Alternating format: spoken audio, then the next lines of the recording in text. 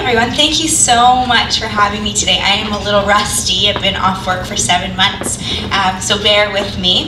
Um, today I'm here to talk about domestic human trafficking, and I'll talk about what the word domestic means. I hope that you, you know, that this can be as informal as you'd like it to be, that you ask questions, that you interrupt at any time, that you, uh, if there's a slide that, you know, that you're hoping there would be a slide on and there isn't one, that you bring it up, that you challenge me, um, that you walk away having a better understanding of what this actually looks like in, in Ontario and in, in our city. Does that sound okay? Okay. Um, I am. I work at East Metro Youth Services when I when I am working, which is an adolescent mental health center. So I do specialize in youth, but I think a lot of the information that I'll be presenting today can be applied to the population that you support. Um, but I am not an expert in developmental services at all. So I really hope that you take this information and you continue to apply it to the population because you are the experts in the room, not me. Does that sound okay? Okay. So, how many people have seen the movie Taken? Raise your hand. Okay, so what happens in that movie? Does anyone remember? It's like this this dramatization with with Liam Neeson. His daughter gets trafficked. Ring a bell, right? So she goes. She she meets these suave, lovely men at the airport. Um, and then, you know, they sort of swoon her, and then later she goes back to the hotel where she's staying. She hears somebody breaking into this place. She physically hides under the bed, and this person forcibly removes her from under, under the bed, takes her out of the hotel or wherever she's staying, and he brings her to a different country where she is then trafficked, right? This is a very common misconception of how trafficking is portrayed. So every way that that movie portrays human trafficking is really the opposite of what it actually looks like in an Ontario context. So the first thing that we need to know is the definition of uh, human trafficking. And we also really need to cha challenge our notions of, of what we think it is because we've seen these movies, we've seen the Takens, we've seen the news story, we've seen, you know, we've heard a story on the radio, we've read that article, and our idea of what human trafficking is is very different than what it actually is. So, how do we we have to reflect on how we actually understand human trafficking to be and be open to being challenged. And because this is such uh, you know, the topic that is incredibly difficult to hear about, a topic that a lot of people have really strong moral and value-based opinions on. We have to be aware of our own opinion. We have to be aware of how that might impact uh, if somebody was to make a disclosure to us. Or if we were to find out that a client that we were supporting was involved in this, what would they get from us that we might not know we're giving off because we have these preconceived notions of what human trafficking actually is. Does that make sense? So you don't have to answer these questions out loud, but think about them. Think about how your opinion of this topic, you know, last night you knew you were coming to a training on human trafficking. So what was going on in your mind? What did you think it was going to be covered today? And how might that opinion impact a client you are, are supporting. Okay, so let's break down what human trafficking actually is. Can, if I keep moving like this, does that work for everyone or do you want me to stay put? It's okay? Okay. Um, so there are basically, if you break down like the cheating definition of what human trafficking is, there are three elements. Force, fraud, and coercion facilitated by a third party. That's, that's really all you need to know definition-wise of what human trafficking is. Force, fraud, and coercion facilitated by a third party. Often we think that borders need to be crossed like this the, the movie Taken, right? She's brought to a different country, or that movement needs to take place. This is sometimes an element that is present in human trafficking, but it is 100% unnecessary in order for human trafficking to exist. You can be from Bathurst and Lawrence and be trafficked at Bathurst and Lawrence. You can be from Scarborough and be trafficked in Scarborough. Zero movement is necessary. Really important because that's so, that's a very common uh, misconception. Now, we also sometimes believe that all sex work is inherently human trafficking, that all sex work is inherently exploitive. Now, I like to think of it as something called the three C's choice, circumstance, and coercion. And I think of them on a spectrum. So I think of maybe you've known someone who has entered the sex trade. Maybe you know a variety of people who have entered the sex trade. And if you ask them how they got into it, it usually fits into one of those three C's choice, circumstance, or coercion. So I'll give you an example. So on this end of the spectrum is choice. So I'm a sex worker. Every time I have sex with a client, it is in fact consensual sex and there's some sort of exchange involved. Opposite, opposite, opposite end of the spectrum is I'm being forced, I'm being tricked, I'm being coerced, I've been given an ultimatum, I have been, you know, manipulated, exploited in some way. In fact, every time I have sex with a client, it is unconsensual sex. Coercion. Now the middle is where it's incredibly gray and incredibly murky and where people really struggle with the definition. And that's when people's situations are inherently exploitive, but no person is exploiting them. For example, mental health exploits people, poverty exploits people, addiction exploits people, no person is exploiting you. So is this, and this is circumstantial C, right? So is this situation human trafficking? No, it in fact cannot be because if you go back to the definition, force, fraud, and coercion facilitated by a third person, you need that third person, you need an exploiter in order for human trafficking to exist. Does it mean that the person who's in the situation circumstantially doesn't need support? Of course not. But does it mean that they're being trafficked? No. Does that make sense? So that's really what most people misunderstand the definition of human trafficking to be. So force, fraud, and coercion facilitated by a third uh, person for the purposes of exploitation. That's the definition of human trafficking. Now, when it becomes coercive, it becomes human trafficking. Now, it's also really tricky because when we're talking about people with developmental disabilities, or when you're talking about youth who are struggling with mental health issues, or you're talking about vulnerable populations in general, you can move from one C to another C. So I'll give you an example. So I work with this young woman, um, and she uh, she got pregnant when she was in high school, and she decided that she was going to drop out of school. She wanted to support her daughter, um, and she began doing sex work independently um, because of her circumstances. She needed to raise money for her family.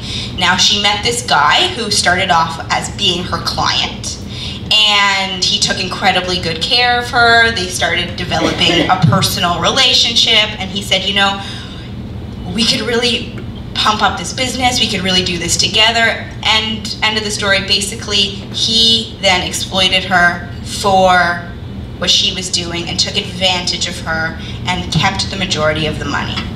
So she started off in a situation that was sort of bordering between choice and circumstance, and then she became trafficked. You can move the other way in the direction of the C's as well. So I'll give you another example. I work with a client, supported her, she's full on trafficked, had a, a, a, horrific situation where her traffickee identified she identified her trafficker to be her boyfriend. This is a very common story. You'll hear it often. I'll be talking about it often. You might already be familiar with that sort of story. Um, and we supported her in, in, in escaping. And she left him, and she was doing incredibly well.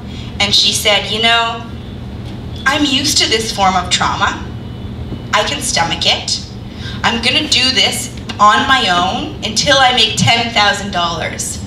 I just want to make back the money that I had made before. So she no longer has a trafficker, but because of her exploitation, she then is in a situation where she's doing circumstantial sex work because she was trafficked. So The reason I'm breaking down these C's is, because we have to support our clients based on that C. If I said to this person, um, you know, if I treated them in a, in a way that was based in them being there by choice, that would be a completely ineffective strategy. And if I treated the person who was being there by choice and I said, you know, I am going to do everything in my power to get you out of there, don't worry, I'm going to protect, they're going to be, who, who are you, talk, you talking to me like that, right? So you have to really be mindful of where someone is at and how they identify and that you understand and you would demonstrate to them that you understand the difference of these positions um, so that you can support them in the best way possible. Does that make sense so far? Okay.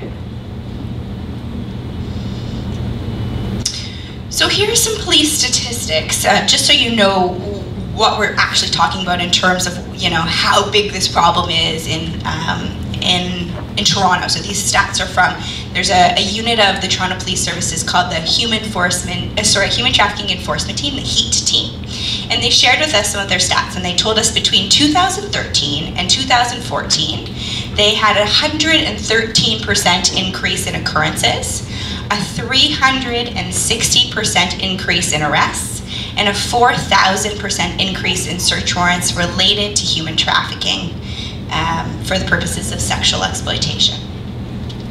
Now, I think it's really important that we understand what the word domestic means.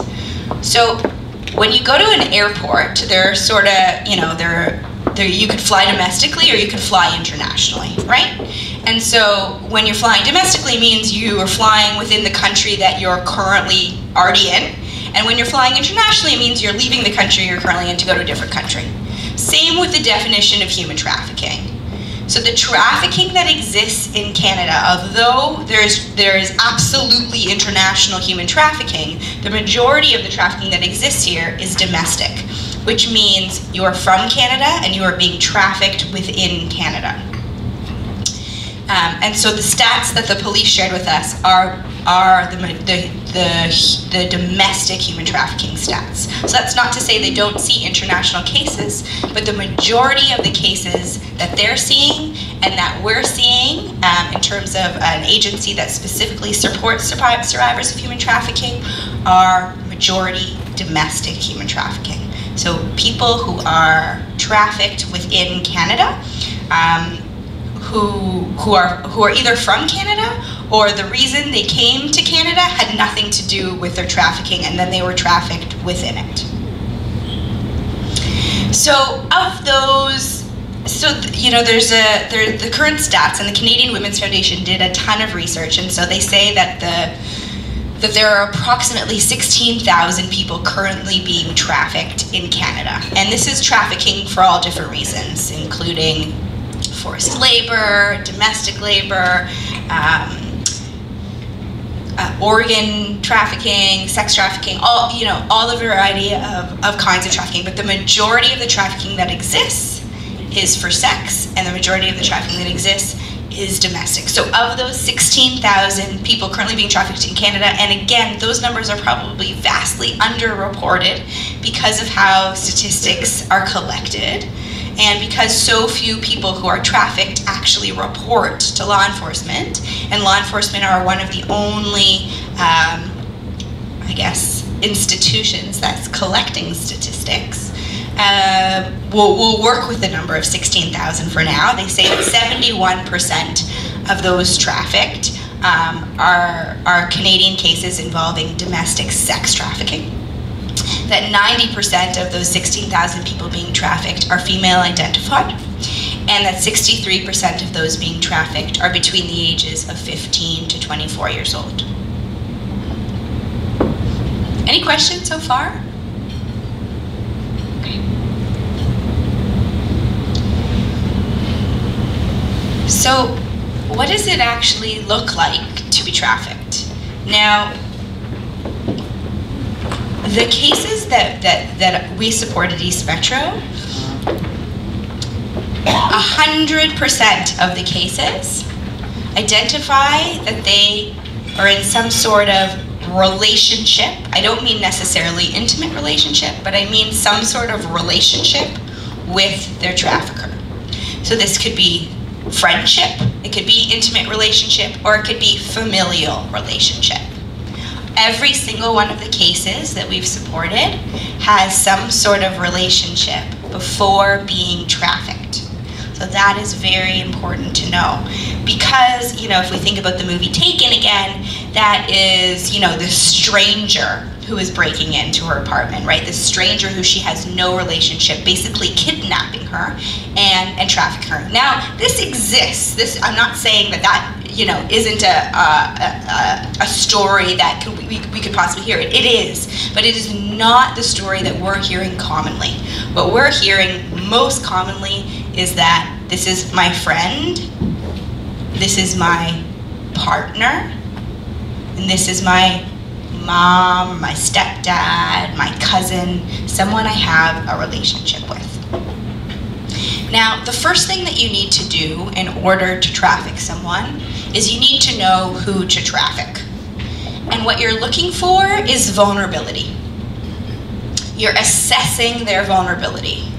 So, if all of us were in a, in a room with youth, or if we were in a room full of the clients you serve, in two seconds, you would have the ability to say, that person's the most vulnerable, that person's the most vulnerable, that person's the most vulnerable. We have that gift. That's why we do what we do, right? That's why we're in the agencies, the, the, the, field that we're in. That's why we work in these agencies. We have the ability to assess vulnerability, and we have the ability to then support people based on their vulnerabilities.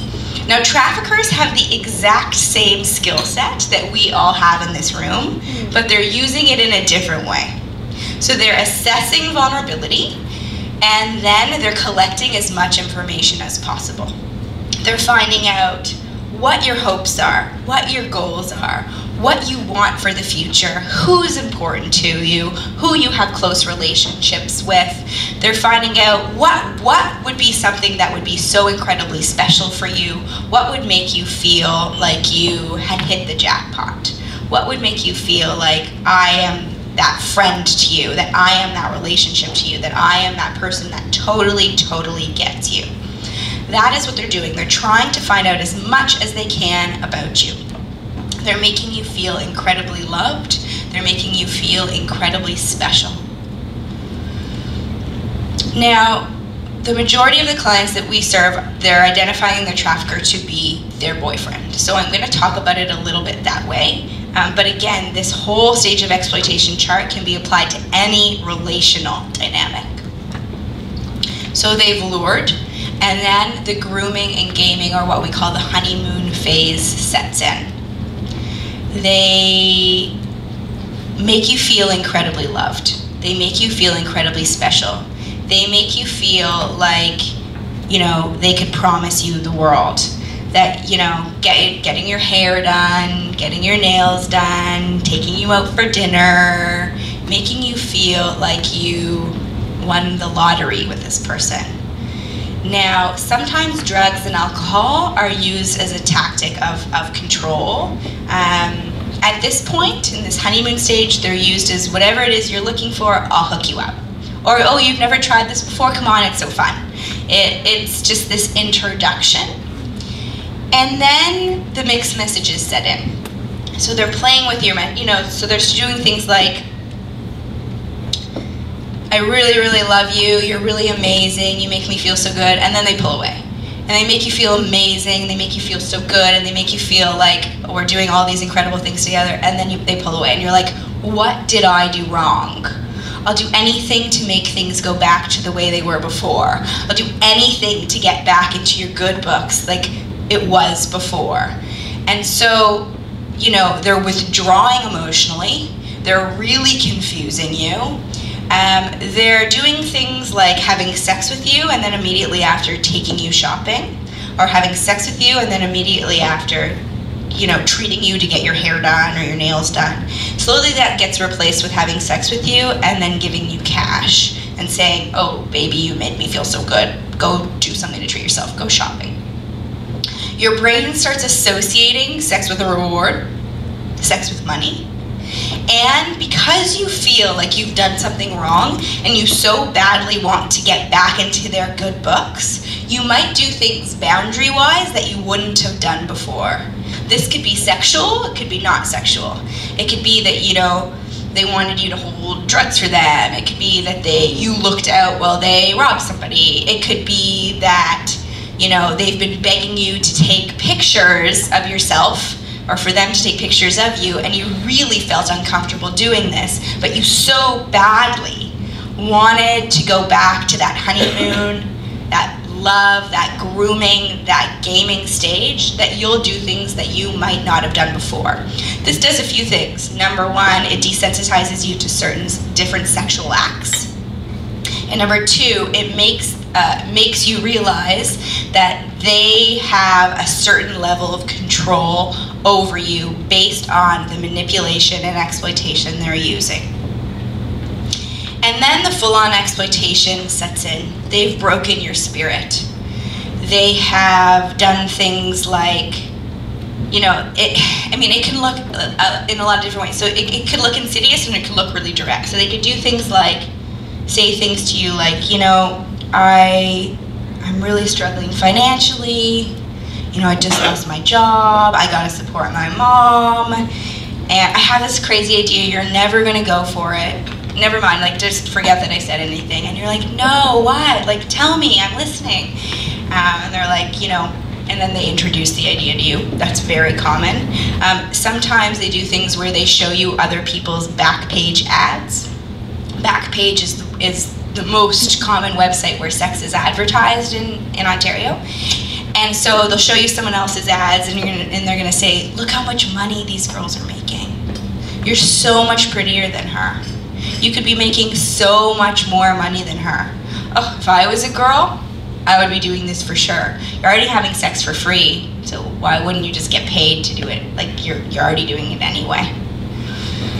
Um, it's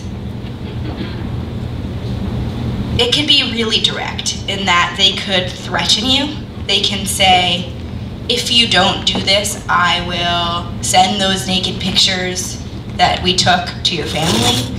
I can post them on social media. I can out you to your job. I can out you to your parents, things like this. So we see a lot of different things.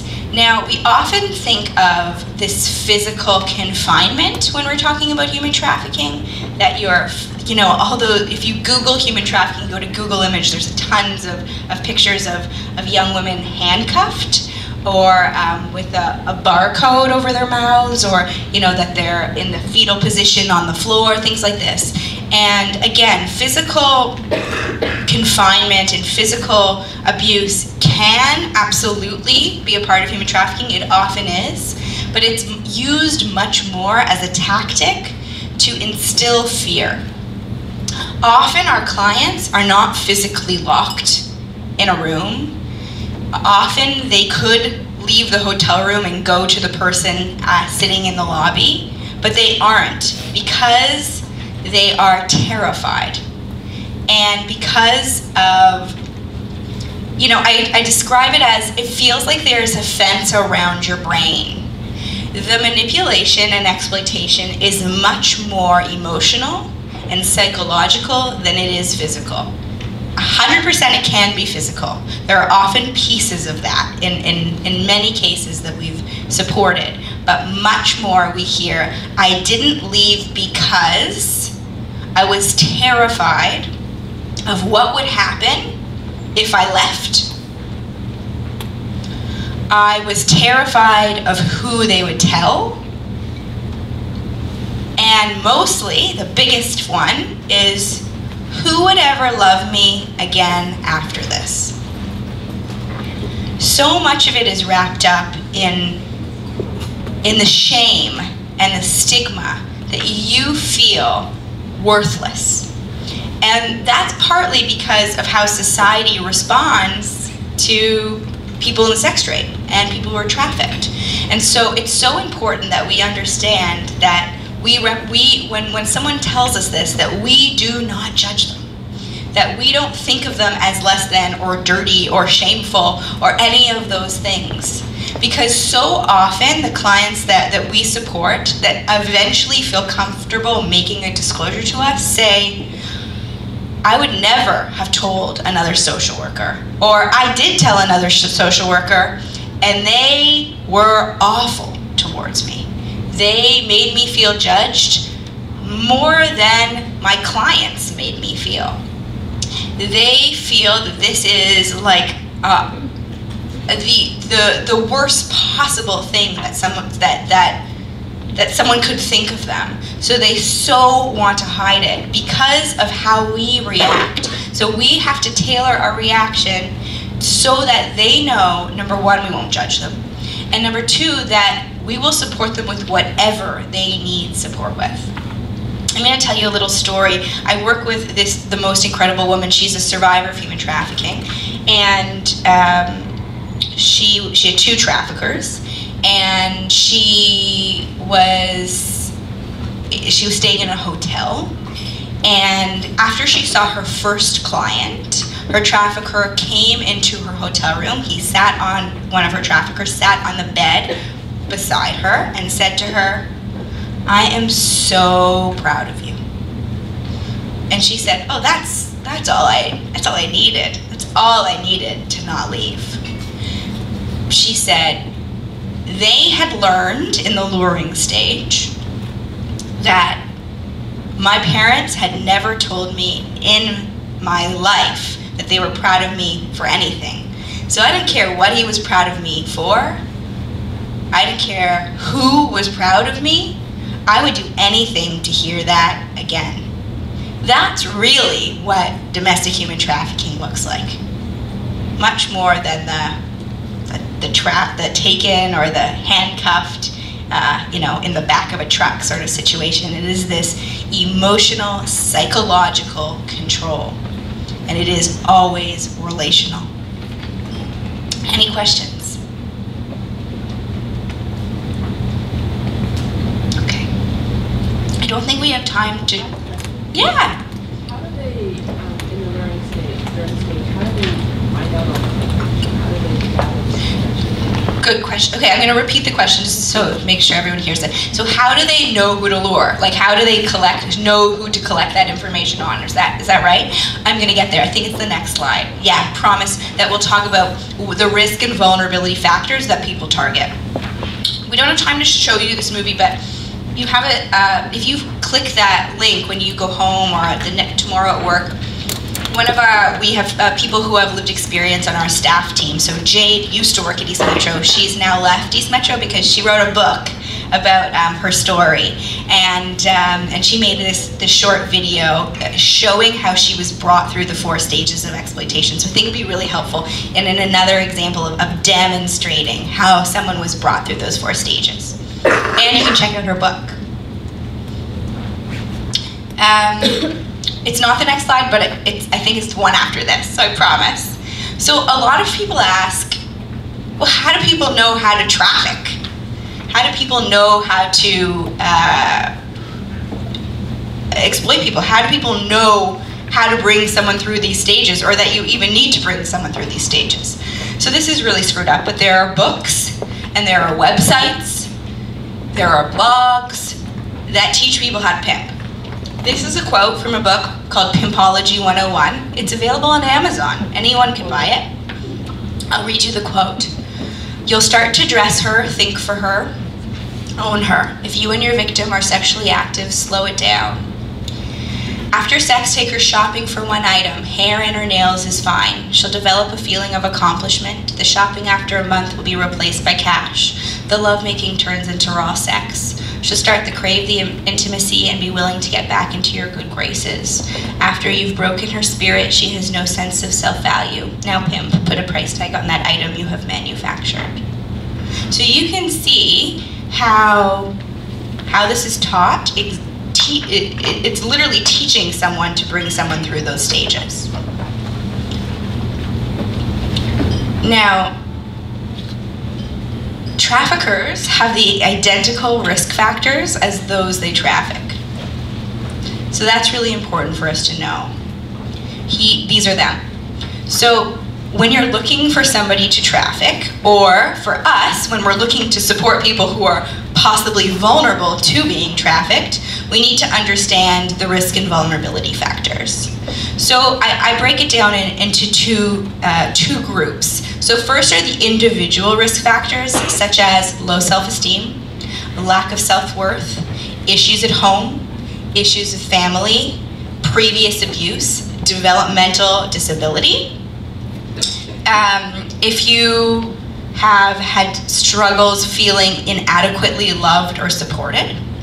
Now, the other side of the circle are the systemic or the societal risk factors, which is being racialized, being indigenous, being a girl, being from the LGBTQ community, uh, being in a community that lacks socioeconomic resources, a community that has high levels of poverty, uh, if your if your neighborhood is isolated um, or has you know very few resources, um, if you were a newcomer. Now, if you could think about the people that you support, and you could check off both individual and systemic risk factors, those people that have both where their circles overlap are at the highest risk of possibly being trafficked. Does that answer your question? No. Okay, so let me let me try to just take a stab at it. So when you're looking for when you're looking to traffic someone, you're looking for someone who has these things, right? So you're looking for someone who, you know, maybe is in unfortunately sometimes who accesses the same service agency that you do, um, who goes to a similar group, or who goes to the same school, or who's living in the same form of housing. Um, and then you're looking to target someone who has these vulnerability factors because they will be, unfortunately, easier targets. So that's what you're looking for. Um, we can use this as a, a, prevention method so we know who is most susceptible to being trafficked so we can equip them with the knowledge and the resources and the information to be able to protect themselves. Does that answer your question? Okay.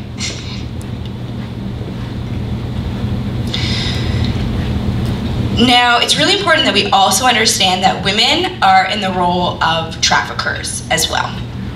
Now, a lot of agencies won't work with people who are traffickers, who are women, uh, because they identify them as traffickers. Uh, how our agency sees it is most women who are in the position of being a trafficker are also being trafficked themselves. Trafficking has a very common hierarchy which is when you want to be in the position of being the like the real girlfriend. It's called like the wifey. It's also known as a bottom bitch, which sounds backwards, but the bottom bitch is like the top position of a, of a person you want to be if your trafficker has more than one person they're trafficking at once.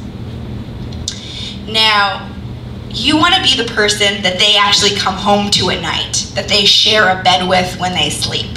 You want to be the person that feels like this is actually a relationship. You know, that it's not only exploitive, that this person actually loves me. And, you know, the reason I'm in this is because he's told me one day we're going to have a house together. One day we're going to have a family together. One day we're going to have this life together. And because he's promised me these things, I see that there's a, a, a reason to stay because I've always wanted those things and I have not had an, any opportunity other than this person to get them. Because you want to believe that so badly and because maybe your options besides this are so few and far between, you stay and you stay in the position of so badly wanting to be that that bottom bitch, that top girl. Now, sometimes in order to be in that position, they position it in a way for you to then do the recruiting. So sometimes it would be less scary to your clients who are young women if a woman approached them and said, look at all the money I have, look at this lifestyle I have, you could have this too. This is a very common way to be brought into the game. And the game is, um, I guess the, you know, the all-encompassing word that people use when, you know, they're not going to come into your office and be like, um, hi, I'm a survivor of human trafficking. I just wanted to, you know, tell you that. They're going to say, they're going to, they're going to make disclosures in ways that we have to be attuned to picking up on by saying little things like, I'm in the game, and we'll talk about more of those after. So they put them in a position of bringing new girls in, recruiting. And it it's smart of the traffickers to do. Number one, because the heat is off of them if they're getting someone else to do their dirty work for them. Um, number two, because it's an incredibly successful uh, luring tactic. And young, the young women who are being trafficked say yes for a few reasons. And it is not their fault. In fact makes perfect sense why they say yes to then recruiting other people even though they're being trafficked themselves. They say yes because if you were in a position where someone literally controlled what you ate, where you slept, who you had sex with, how many clients you saw, what services you provide, how much money you charged, and then you were given a little bit of power to be in this top position, you take it. That is survival, that is human nature. And the other reason is self preservation. Um, and what I mean by that is if you have to have sex for 10 people a day, for example, but if you bring in a new girl who's also making money, you only have to have sex with five people a day, who wouldn't do that? That's just survival. And so it's very, very, very common that these young women do not identify as being trafficked, but they do identify as being a recruiter. And so it's really important that we dissect with them why they got into it, how this happened, and support them in the same way we would support a survivor of human trafficking.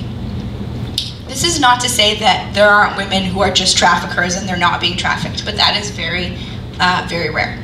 When we see young women being trafficked, the majority of the cases involve them, um, sorry, when they're traffickers, involve them being trafficked as well. Any questions about, yeah?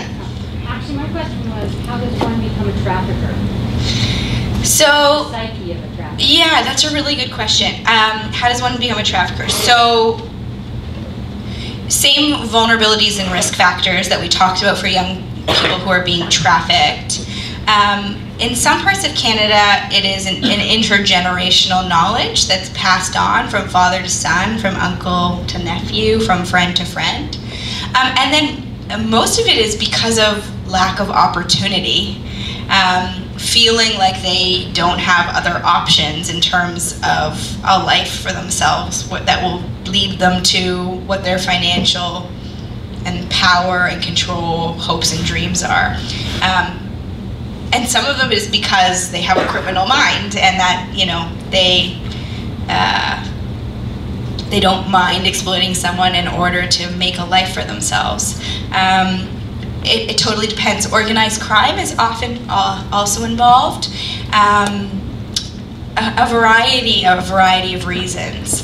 Um, the, cl- the clients that I support, their traffickers are, are usually also young people who are quite suave, who are quite charming, who are quite charismatic, and they have been groomed by older guys in their neighborhood to be pimps. Um,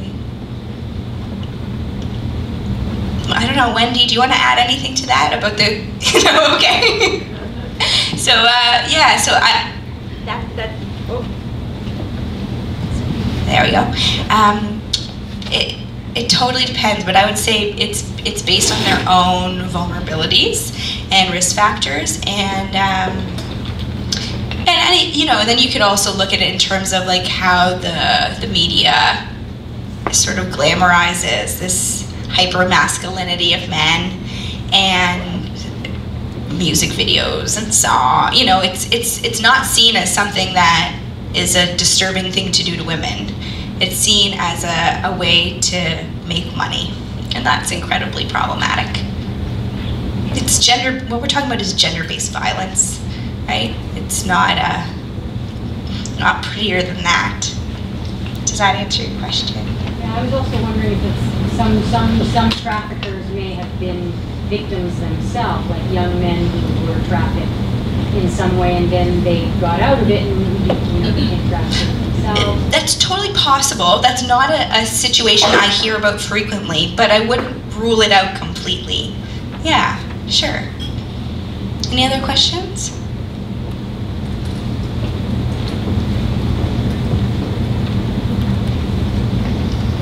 So I mentioned that there's a whole language and vocabulary of the game um, of being trafficked.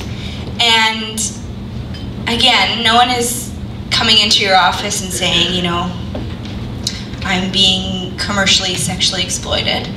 Um, they're going to disclose things to you in a way that they hope you pick up on because they're more comfortable making a disclosure um, and hope and, and, and hoping that you know what they're saying so they don't have to full on say that. So the game is a very common way for our, our clients to sort of drop drop hints at us that they're involved in something like this.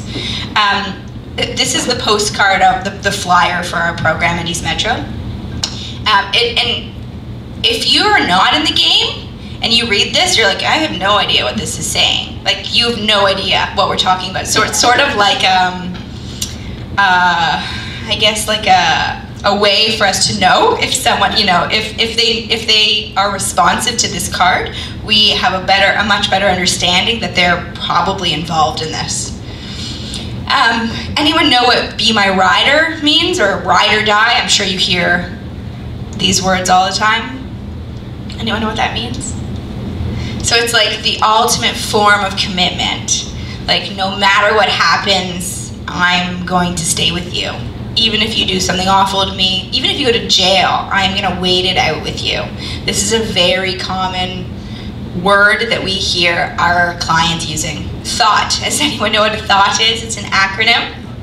You know what it means? I won't make you say it. It stands for that hoe over there. It's very, and this is a derivative of the sex trade. But if someone is using this word, it doesn't mean they're in the sex trade. But again, part of the, the vocabulary of this. Um, telly. Do you ever hear the clients you're serving saying, we're going to hang out at the telly? It's a slang for hotel.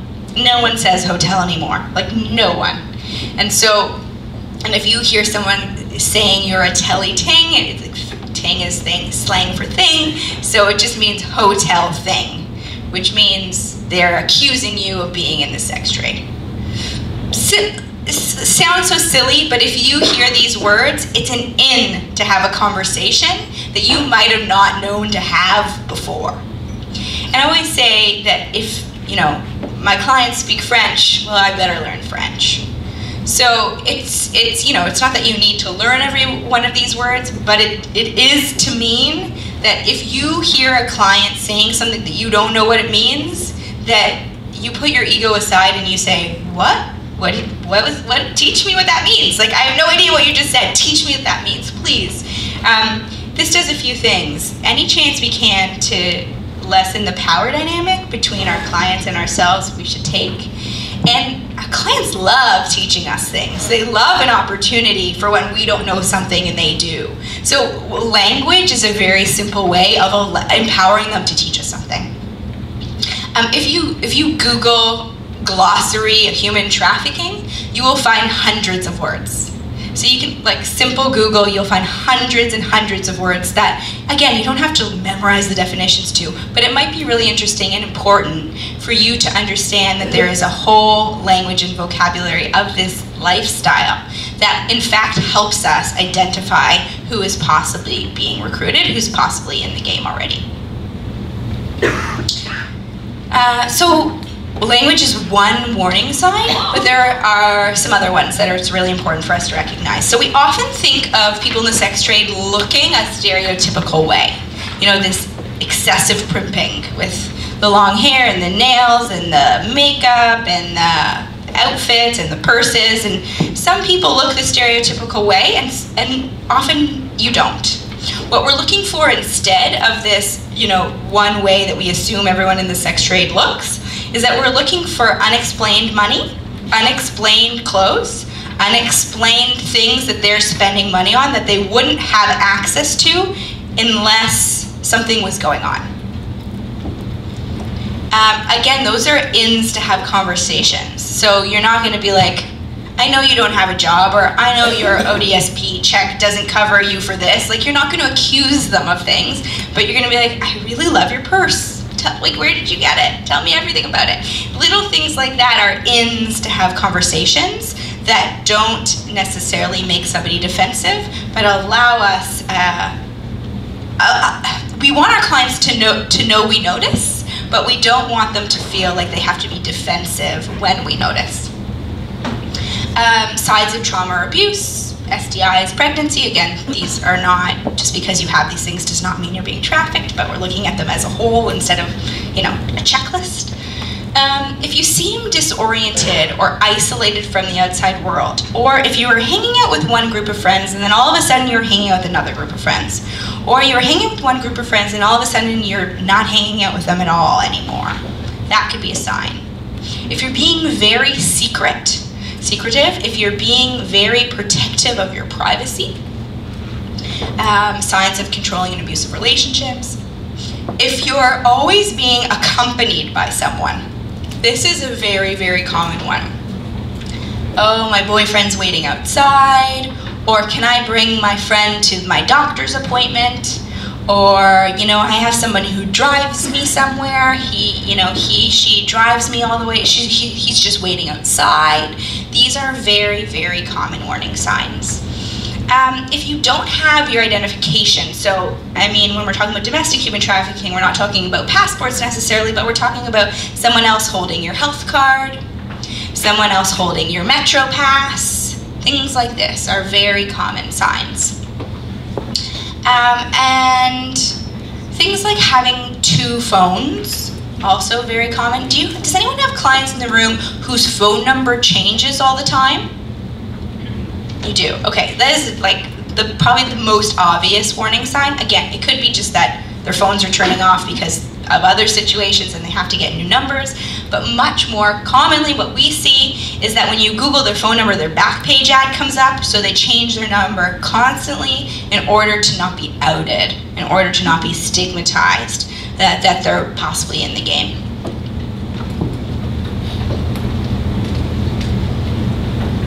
How am I for time? Okay. Okay, cool. Um, the biggest warning sign, the bi- biggest risk factor of being trafficked is previous relational trauma.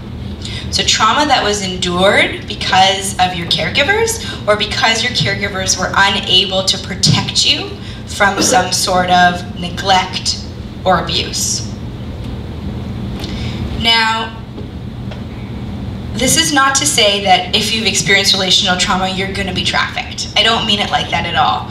But the majority of the clients that we support have experienced previous relational trauma, also known as developmental trauma. Now, the part of our brain that develops absolutely first is our brain stem.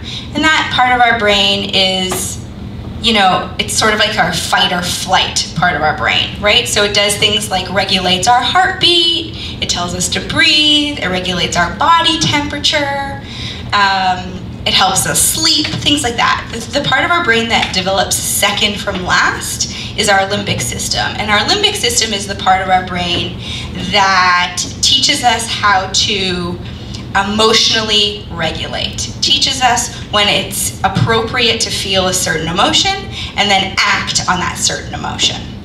And then the part of our brain that develops absolutely last is our cortex. And our cortex is the part of the brain that helps us with higher level decisions, decision making.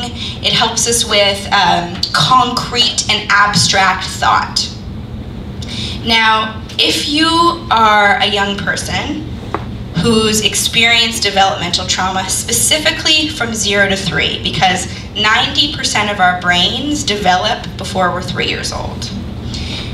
Now, that means that maybe your limbic system and your cortex are not developed to the full extent they could have been developed if you did not experience relational trauma. Does that make sense? It doesn't mean you don't have those parts of the brain. It doesn't mean those parts of your brain are not working. but it does mean it's possible that your limbic system, your ability to emotionally regulate, and your cortex, your ability to make higher level decisions, are not as developed as they could have been if you did not experience relational trauma. This is not to blame people for being trafficked who've experienced relational trauma. I'll get to why we're talking about it. There are ingredients that make for a healthy brain. Consistency in our environments, enrichment, predictability, um, nurturance, very, very important for our, our brain to have all of these ingredients in order to be its fully developed self. If you think about your brain as the foundation of a building, and you think about, you know, a one that had, you know, you know, a healthy brain would be like, you know, everyone at the the job site when this building was getting built, they showed up on time. The construction materials were delivered early. Everyone worked beautifully, collaboratively together to get this building built. They build this building, you throw something at it, it is so incredibly strong, it is so incredibly resilient. Very little can happen to it. Even if it does, the foundation of the building is, is together. Now, the opposite is also true. If you think about your brain as the foundation of a building where there are threats or inconsistency or instability, that is our brain, how our brain interprets trauma. And so you think about your brain as the foundation of a building. You know, some people showed up on time, some people were late for the job site building, you know, materials, some of them got delivered, some of them were late, some of them were missing altogether. The building got built. The foundation, it, it, it got built. But if you throw something at the foundation, it is not as resilient as the first foundation. So why am I telling you this? Why are we talking about this? Because if you think about the people that you support, and you think about our basic needs, so it is our caregivers' jobs to make sure that all of our needs are being met. It is our caregivers' job to make sure that we have a roof over our heads, food in our bellies, clothes on our back. It is our caregivers' job to make us feel safe, supported, secure, protected. It is our caregivers' job to boost our self esteem and to make us feel loved, to make us feel unconditionally supported. And it's our caregiver's job to one day teach us how to be self-sufficient adults. Now, connecting it all back to the brain, if for whatever reason your caregivers, for, for whatever reason, we were unable to meet all of those needs, Maybe it was relational trauma, maybe it was a lack of resources, maybe your caregivers themselves also suffered from relational trauma. Who knows? It doesn't matter. But if for whatever reason your caregivers were unable to meet all of your needs, and a trafficker came along and said, Uh, you know, we're gonna live in a hotel, we're gonna have, we're gonna order Uber Eats and have pizza every day for our meals, it's gonna be great. I am gonna keep you safe, secure, protected. I won't let anything bad happen to you. You are my ride or die. You are my girl. I am going to make you feel so incredibly loved and supported, and I am going to do everything in my power to boost your self esteem. If you didn't have this at home, and somebody offered this to you, who would say no? I know I wouldn't. It is, in fact, survival to make sure that our basic needs are being met when they are not. And the people that they are targeting for trafficking are the people whose basic needs are not being met by the people who are supposed to meet them. If you take one thing from today's presentation, I hope it's this that is in fact unfair to ask somebody to leave their trafficking situation unless you have found replacement ways to meet every single one of these needs. If you ask somebody to leave before doing that, what will happen? They, they go back. That is the biggest, biggest problem with human trafficking supports is that they come from a place of wanting to save and rescue. They come from a place of saying, oh my God, that's so horrific, let's get you out of there immediately, which is so well intentioned. Of course, that's what you want to do. Of course, of course, it makes perfect sense to want to pick someone up and get them out of there as fast as we possibly can. Sometimes that is in fact, in fact, more dangerous. What we need to do first is find replacement ways to make sure they are housed, to make sure that they have uh, you know, access to OW, ODSP, whatever sort of financial supports we can access, to make sure that we reconnect them with safe, supportive, loving people, to make sure that we safety plan, to make sure that we have everything in place should this person ever contact them again, to in fact love our clients but with boundaries, and to make sure that we connect them to people and we do this ourselves to boost their self-esteem. If we cannot do these things, we are setting them up for fa failure, they'll go back. They will go back, and they'll go back again because it is survival to get your basic needs met. It is not their fault that they possibly have relational trauma. It is not their fault that they possibly did not have their basic needs met before. Some people challenge me and say, not everyone who's trafficked fits into this. That is totally true. But the majority of the clients that we serve are not getting their basic met, needs met fully by the people who are supposed to meet them. That is really the majority of the people who are trafficked. Does that make sense? Okay, so what do we do? How do we intervene? Let's make a model. So is everyone familiar with the stages of change model? I'll explain it in like a, a super two second way for those who are not familiar and then we'll apply human trafficking to the model. Okay, so how many people are coffee drinkers in this room? Raise your hand. okay, how many people are the kind of coffee drinkers that are like, I love coffee, it's the best thing that has ever happened to me. I will never stop drinking coffee. I love it, I love it, I love it, I love it. Okay, so you're the kind of people that we would call in a stages of change model as pre-contemplative. You're not even contemplating changing your behavior. right? There's no, you don't even recognize that there's anything to change. It's great, why would I change it? Okay, how many people are, are the kind of coffee drinkers that are like, I love coffee, it helps me every morning, it's so great, but like maybe I would consider like reducing the amount of coffee I drink. I guess it's not so good for me. How many people are there? Okay, so you, in the stages of change model, we would call you contemplative. So you're recognizing that there's like maybe something that's not totally perfect with your behavior, but you're not really like at a stage where you're ready to change the behavior. But there's a glimpse of, of, of recognition. Okay, so how many people are, are, are at the stage where they're like, yeah, I guess I should stop drinking coffee. I get, you know, like you're you're ready to just bite the bullet and give it a try. You're, you haven't done it yet, but you're at that place where you're like, okay, I could consider actually doing this. Is anybody there? Okay, great. We would call you at the preparation stage. Okay, how many people are, are used to be coffee drinkers? They just stopped drinking coffee. You know, when they walk by Starbucks and they smell the beans, it's like really tempting to not go in, but they're, they're working on not drinking coffee. Great, so you would be at the action stage of, of quitting coffee drinking. How many people used to be coffee drinkers, don't have any coffee anymore, sometimes once in a while get a temptation, but you resist? Great, so you're at the maintenance stage of coffee drinking. Let's apply this to human trafficking. if someone is pre-contemplative, so I'll give you an example. I get a call from a mom, and the mom says to me, Carly, I found my daughter's Backpage ad. She disappears every single weekend. In her room, I found hotel key cards. I know for sure, without a doubt in my mind, she's being trafficked. You gotta talk to her. Okay, no problem. Bring her in. I'll meet her tomorrow. I meet her tomorrow. I meet her the next day, and she says, "I don't know what my mom told you.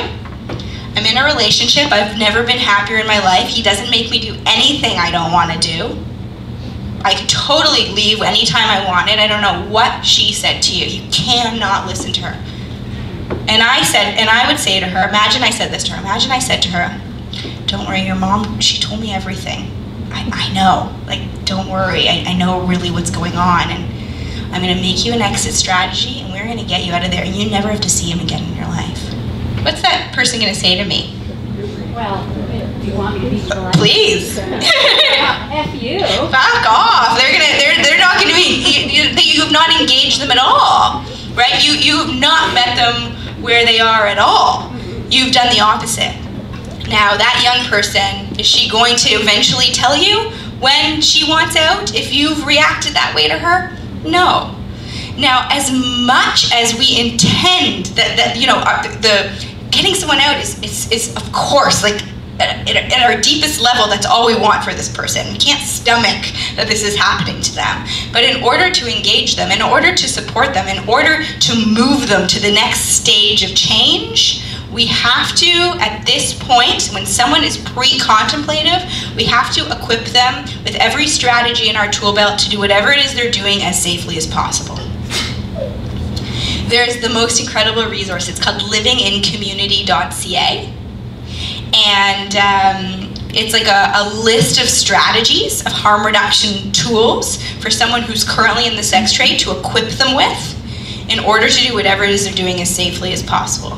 Does this mean I'm not going to continue having conversations to move them to the next stage of change? No, of course not. Does this mean we're not going to talk about, you know, the, the bad part of the relationship? No, of course not. But it also means that I'm not going to judge her for what she's currently doing, and I'm mm. not going to rescue her when she doesn't want to be rescued. Okay, someone is contemplative. So they're saying things to you like, yeah, he's, you know, he's really great. Like sometimes he makes me do things that I don't want to do, but like he's really great. I'm sure you all have clients, you know, who say who are sort of contemplating between um, is this good, is this bad? So what we want to do in this stage is we want to explore both the pros and cons of the situation. We want to dissect um, what is good about the situation because we want to understand what needs the relationship is in fact meeting. When we think about it like that, it, it challenges our clients to think about their relationship in, a, in a, a bigger picture way. So you can even show them a, a, simplified version of Maslow's hierarchy of needs and say, tell me how your relationship is meeting your needs. I, I want to get how it's meeting your physiological needs. I want to get how it's meeting your safety needs. I want to get how it's meeting your love and belonging needs. I want to get how it's meeting your self-esteem needs. I want to get it. And then this gives them an exercise to really dissect their relationship. And you want to do things like, um, you know, so often when people have pros and cons of a situation, we really empathize with the cons, right? Because we really want to pump up what's bad about the situation and really minimize what's good about the situation. Like I'm thinking about a, a, personal relationship I have with one of my friends, and she's in this relationship, and she's like, "Oh, my boyfriend is the worst. He's so unreliable. He cancels plans all the time with me, and like, but on and on and on." And I say to her, like, "What are you doing with this guy? You're such a catch. You're so smart. You're so funny. Like, why are you wasting your time?" And she says, No, Carly, you don't get it. She mm. says, He's really great when we are together. And she becomes defensive of the part she thinks I didn't hear. Clients do the same thing. When we only empathize with what's bad, they become defensive of the parts that are good. It, in fact, does the opposite of what we intend it to do. So we have to both empathize with the pros and the cons. So I would say to this person, I get it. It is, you, you know, it is a shitty situation. You in your lifetime never thought that you would be where you are today. You never thought that you were going to have to be doing this. You never in your lifetime thought that you would have to do this and that this was part of your what you would have to come to talk to me about. But on the other hand, you are terrified that if you leave him, your life is going to be even worse than it is now. If you leave him, you're scared that no one is going to love you again. And so, as long as you do that, as long as you get them to realize that you get the struggle, that you get the pull and push of staying versus leaving, then you have created a relationship with them where then they can they can then have space and room to talk about both the good and bad. And then you can move them to the next stage because they think, oh, you get it. You get the struggle of staying versus leaving.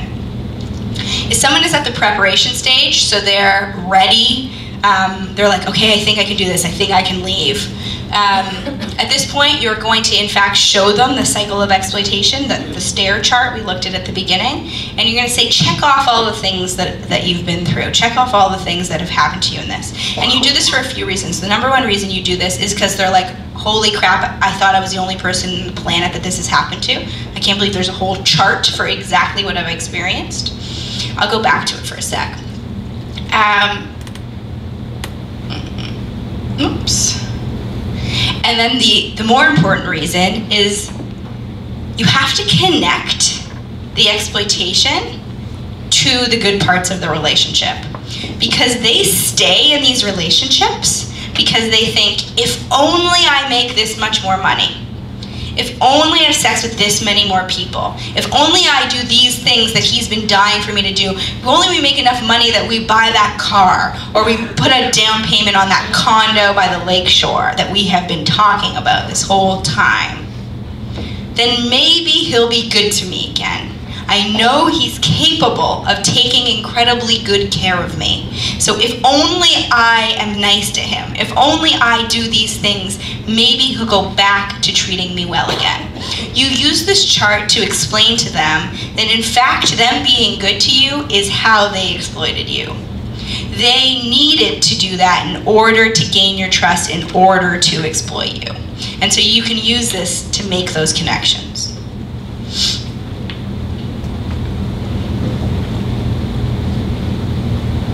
Oops. Uh, someone is at the action stage, so they have left. They're newly out of the game. Then you're going to hook them up with people who can process what they've been through, who can deal with the trauma, who can, you know, do some narrative work, who can, you know, uh, start to dissect the attachments, um, and then plan for their preferred change. So if you try to put concrete things in place while someone is still in it, it's often, or, or you, you know, you assign assign someone a therapist while they're still in it. It's like I always explain it like it's like sending a kid to kindergarten on an empty stomach. How really do you expect them to learn if all they're thinking about is, well, what am I gonna have for lunch? Right? Like it's it's in fact unfair. So you when someone is so traumatized or someone is so you know they're yeah they're they're so incredibly aroused hyper aroused or hypo aroused and you send them to process their trauma but while they're still experiencing their trauma it often they're often not ready. The only thing that you can do while they're still in it is hook them up with someone so they can start developing a relationship. That piece is vital. Once they're out then the trauma work can begin. When you leave and you're out the work is not over. You have to process the temptation to return and the strength it took in leaving. And only at this point can you actually do concrete goal planning. I'll give you another example. I have a client and she has been missing, I support her mom because she's been missing for two years. Um, but she calls her mom on a burner phone once a month. So her mom talks to her but has no idea where she is. And I say, What do you say to your daughter? You have her for 10 minutes on the phone. What do you say to her? And she says, You know, I say to her, if you come home, your life could be so much better. You could go back to school. You have one credit left. I'll help you get it done. Your life, you know, then you could get a job. You could, and I'm like, that's like the opposite thing you should be saying to this kid. You should be saying to this kid, I don't care about what you are doing. You don't need to tell me a thing. All I care about is that you're safe. I love you. I love you. I love you. Come home. That is it. Now, once she, you know, has a trauma therapist, she's dissected a little bit of what's going on, she processed maybe some of the relational trauma, then you can say, hey, I hear you have one school credit left. Did you want to do it? Up to you any chance you can to impose your goals on someone else, it always backfires. Everything has to be our client's choice. And just because we think that's best for them, because you know we think automatically, oh, she's a young person, she's got to finish school. this person is so incredibly unsafe. We have no idea where she is. Our only, only goal for this young person is that she is okay, that she comes home, and that we cover her, hug her, coat her in love, and that is it. That is it. And no judgment. So often we hear parents who say to their kids, you're gonna end up on the street. You're such a slut. You gotta go. You know, and they and they they're actually blaming their the, the people who are being trafficked. And if only they understood that this is in fact a, a form of modern day slavery. Can you imagine blaming someone for that? That's how you have to think about this. This is the a, a photograph of the website I told you about, livingincommunity.ca, just so you know. So you go to the toolkit and you can click on all of these different these circles they're all different links there's one for tool for sex workers tool for understanding sexual exploitation tool for schools and families tools for customers it's incredible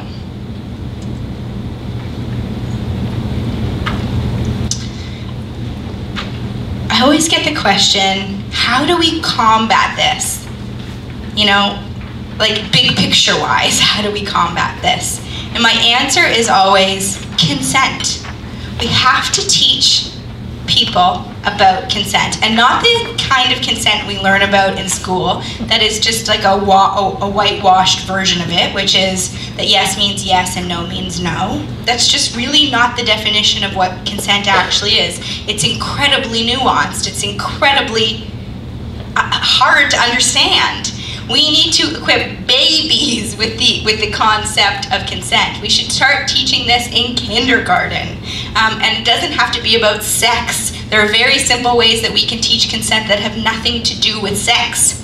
We need, uh, you know, you could do things like bring in hula hoops to, to kindergarten classes and say, this is my personal space. Who would you want to invite into your hula hoop? What would they need to ask you before they came into your hula hoop? What if someone came into your hula hoop and you wanted them out of your hula? Like simple, basic, basic things that we need to do in order to equip people with the understanding of consent.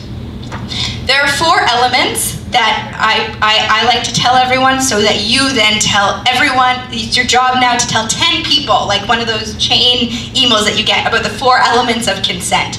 We have to spread the word about what it actually is, what it actually looks like. It has to be clear. It, you need to, um, it needs to be active. So you, let's say you, um, how do I explain this? You need to be able to understand what the person's saying. So either through body language or through language, it has to be clear but on both parts. You have to know what you are consenting to. It has to be ongoing. So let's say you consent to one, one thing one day, the next day you have to consent to the same thing again. It has to be willing. Um, it can never be given under pressure. So this is the human trafficking problem with the consent because all of my clients say to me, um, but I said yes. And they think, oh, that means they've consented. But when someone has said, you know, we could have this life together, we're gonna have this family, we're gonna make this money, all of these things, when they've promised something to you or they've threatened you with something and then you say yes, it in fact cancels out the yes. It is not willing consent and has to be coherent. You cannot give consent if you are drunk. You cannot give consent if you are high. You cannot give consent if you are sleeping. You cannot give consent um, if you're incapacitated in any any way. So those are the four elements of consent, and and I think it's our job to equip every single client we work with with actually understanding what this means. This I believe, is the one tool that could combat human trafficking. There's the most incredible video. The YouTube link is there again for you to watch when you get home. Um, have you have you guys seen the tea consent video? Most people have seen this video. It uses drinking a cup of tea as an example of, of teaching consent. I think that one's good, but I think there's one that's better. And it's called the Western University made one, and it's about bike riding And I think it's the most incredible tool to teach young people about consent, or people with developmental disabilities. I think would be an incredibly effective tool. And it talks about, um, it uses bike riding as an example of, of uh, if you've consented to do it with someone. It's very funny and very cute, and I, I definitely recommend you you checking it out. If there's anything cool about trauma, um, it's that our brain has the capacity to heal. That our limbic systems and our cortexes have the capacity to continue to develop. And this happens through relationship. So when trauma is endured through relationship, the only way to fix it is through relationship. And so there is a ton of evidence that proves that healthy, supportive, nurturing relationships literally help your brain re-heal and grow. And that's what our program seeks to do. We do psychoeducation about the cycle of exploitation and about equipping people to understand their vulnerabilities. A lot of programs are strength based, which is, of course, very important, but we sometimes shy away from equipping our clients to understand their own vulnerabilities. I think that is necessary, that they understand their own vulnerabilities so they can understand how other people might take advantage of their vulnerabilities. We restabilize their body to their brain. So, so often when people have been traumatized, specifically when it has to do with a sexual trauma, you dissociate between your brain and your body. So, we do a lot of work to teach people to listen to their guts, to teach people that, you know, their stomach is the siren of danger. So, how do we learn to tune in and listen to it? Um, we rebuild self esteem. We do our best to remove the shame and blame. Um, we try to lessen trauma symptoms, and we're doing this by creating and rebuilding a healthy, supportive, nurturing environment uh, and relationship. Thank you. Do you have any questions?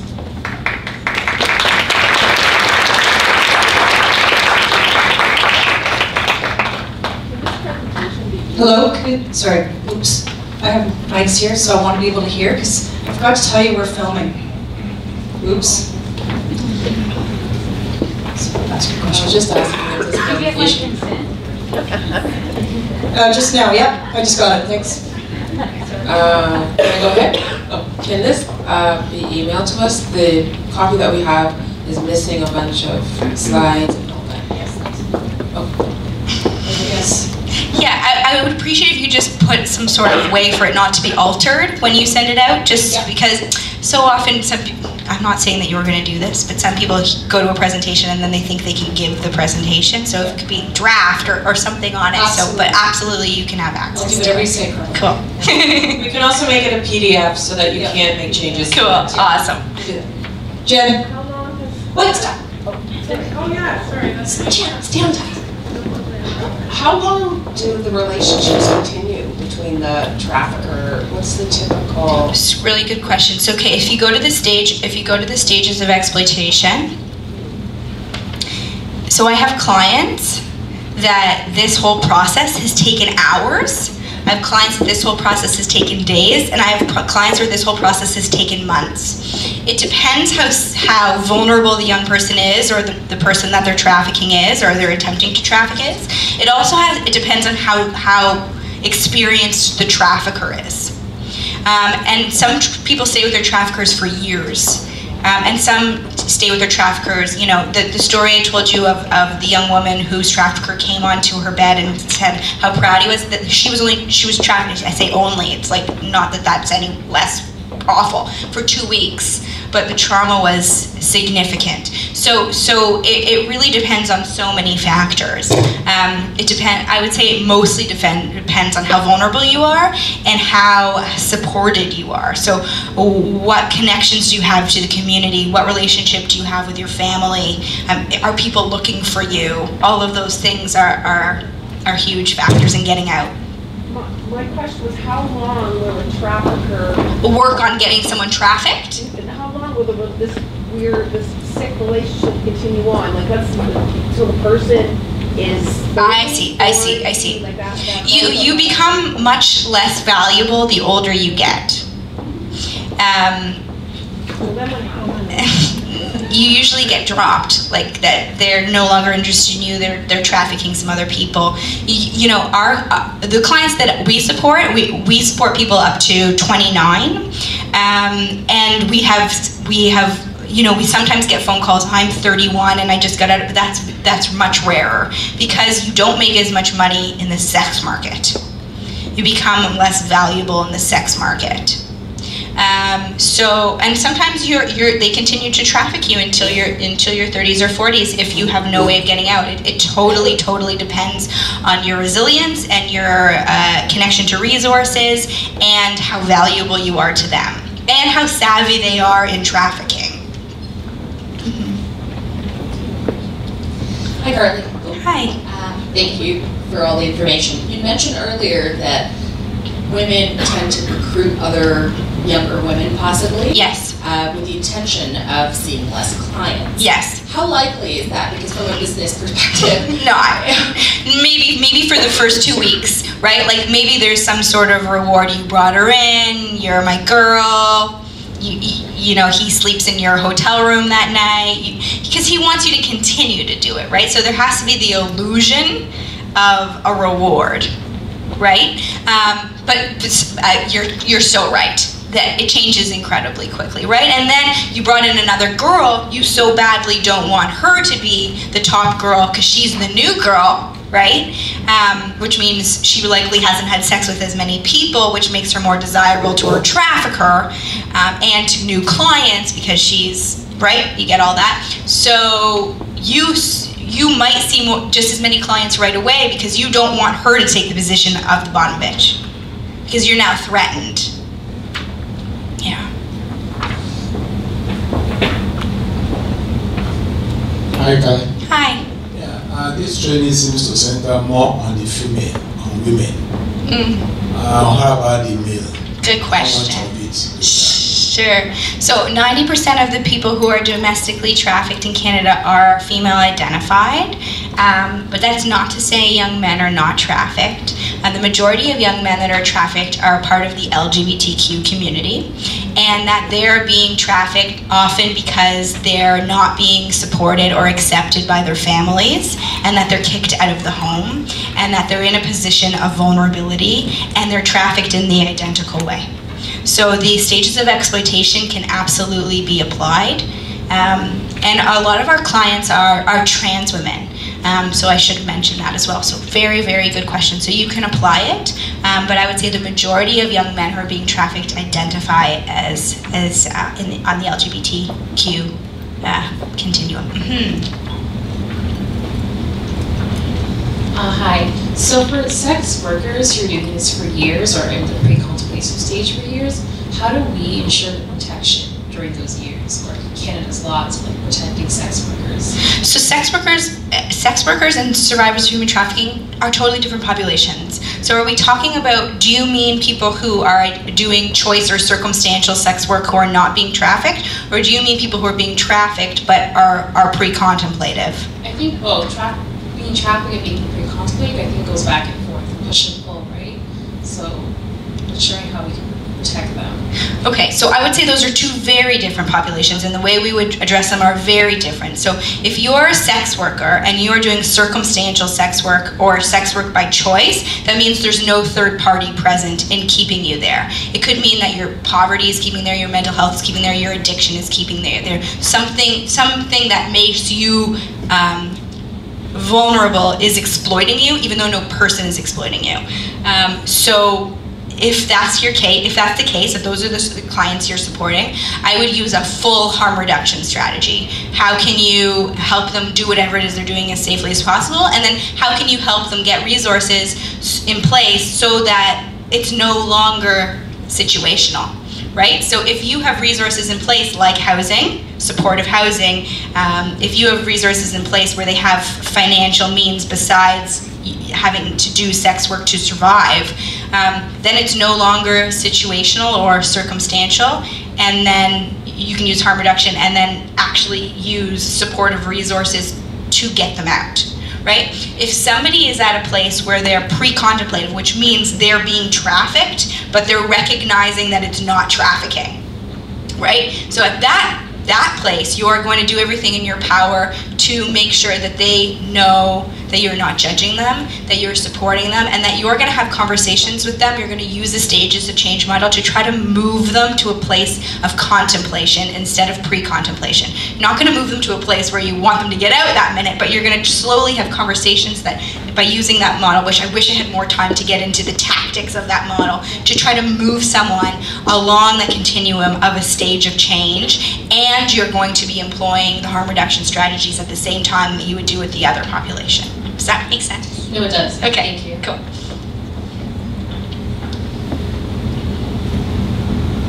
Anyone else have questions?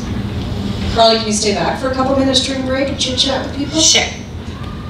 Deanna, I just want to say as well that there's lots of conversations going on about this and about how to bring it into the DS population and get a better, I mean, Karen Chan quoted, I think thirty percent, excuse me, of the women who are trafficked have a developmental disability. I was talking to Karen from the provincial um, human trafficking office. I don't think that's a clear um, number. Like I think that's, it's hard to know exactly how many, but I think there's lots of people within developmental services who are really interested in engaging and having more of a conversation and looking at creating curriculum and, and that kind of thing. So I hope that you'll see more opportunities for collaboration and for engagement around conversations. I know through the community networks of specialized care, uh, my colleague in Central West for the Peel Collaborative over there um, contacted me this, me this morning asking about how can we look at, like they've got people in Central West interested in putting together Awesome. curriculum. Awesome. So I think it's bringing people together like you, Carly, like